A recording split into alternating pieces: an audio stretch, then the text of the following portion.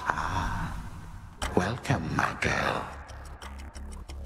You slipped through my fingers before, only to return and give to me another opportunity to add you to my collection. Did Athena truly get... Your collection. You speak of your kin as objects to be put on display.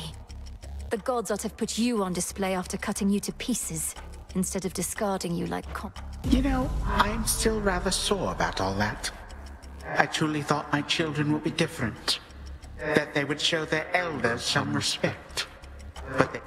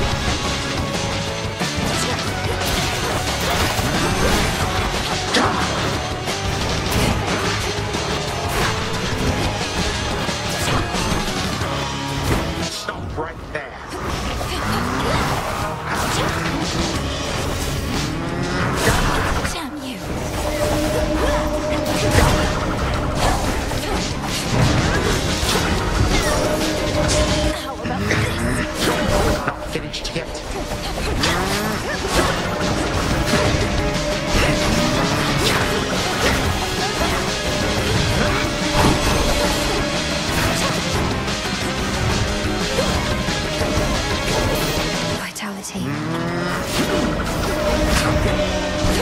impertinent.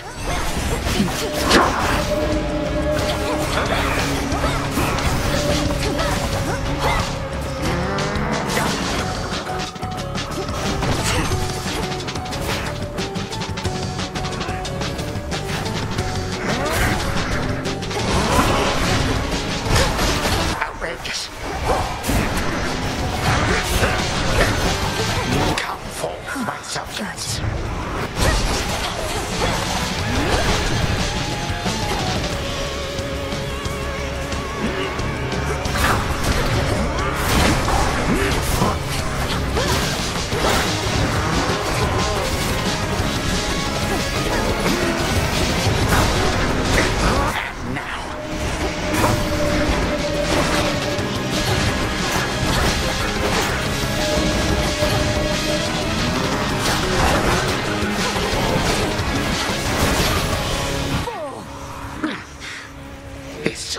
Audience has lasted long enough. You do not get to barge into this house and waste my time. I... Three, two, one.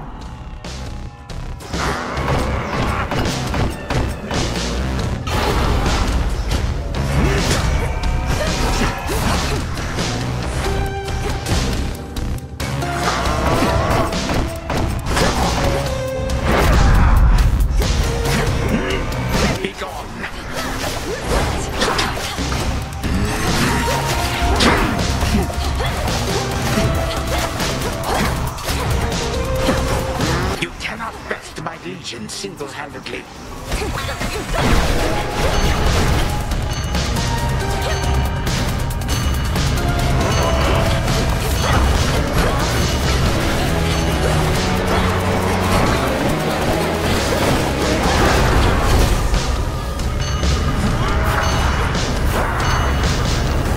Embarrassing.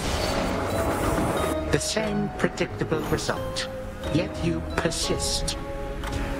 I heed your call once more. Again, our journeys intertwine. Why did you call upon me, Princess?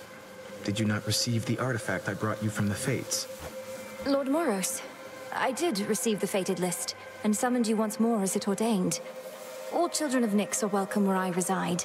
Might we speak further there? I have many... I don't know whether I can answer them, as my own search for truth has not been going well of late.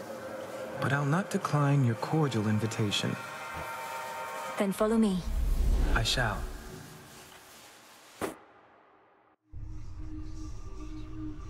Where did he go? Happen to see a tall, horned fellow passing through? So what's up? You've been staring at that picture more and more. Happy family? Well, it's starting to get to me because I think it's starting to get to you. Thank you, Dora. Though you needn't worry. I won't get lost in memories because there isn't much for me to remember. I just wonder... Uh-huh. Sounds awful lot like dwelling on the past to me. Nothing you could have done. Hey, you could be doing nothing right now. I'll give it some thought. Or don't.